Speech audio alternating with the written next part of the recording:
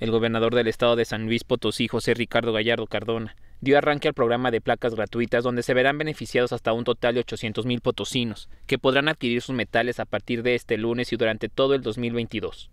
Un gran logro que tiene San Luis Potosí al convertirse el número uno en todo el país, en ser el primero en otorgar licencias de conducir gratuitas y placas de automóvil gratuitas.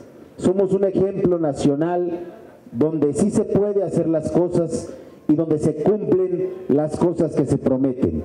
El objetivo, dice el funcionario, es acabar con los actos de corrupción que sufría la población a manos de los policías viales. Darle las herramientas a la gente para que no los estén molestando las autoridades municipales o policías viales, pues se trata precisamente de acabar con la corrupción en el nuevo San Luis Potosí. Estamos contentos porque no nada más este beneficio está llegando a todos los potosinos que tienen vehículos de medio millón de pesos hacia abajo, sino también a muchísimos empresarios.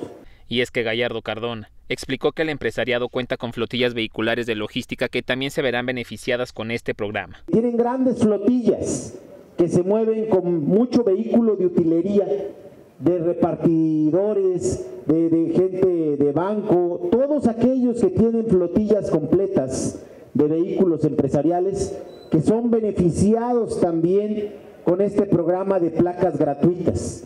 Es un San Luis Potosí justo, es un San Luis Potosí donde los empresarios y donde la gente que trabaja día a día tiene esos beneficios.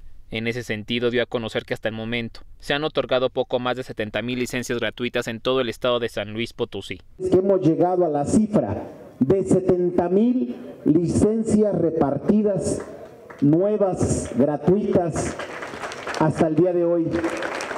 Ese es el logro que ha hecho este gobierno al llegar a esta gran cifra de 70 mil potosinos que ya gozan de sus licencias de conducir gratuitas y que se está acabando la corrupción en estos nuevos gobiernos, con el compromiso que hoy hace el alcalde de la capital en, amarrar a los que muerden ahí la mano, igual con el ayuntamiento de Soledad y Graciano Sánchez. Con edición de Salvador Covarrubias, José Luis Vázquez, Noticieros Canal 7.